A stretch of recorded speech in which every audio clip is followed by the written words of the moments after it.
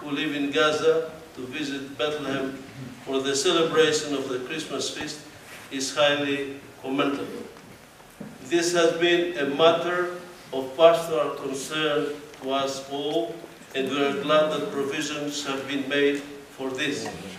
As we look to the new year and the hope of peace that it brings, we recall the words uh, of the psalmist about Jerusalem.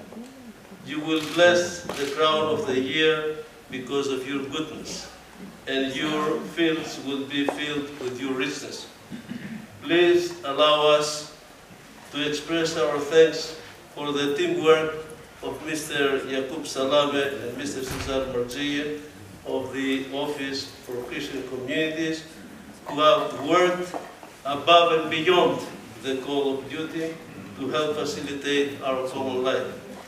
Wish you, Mr. President, and your family all the blessings of this season of peace.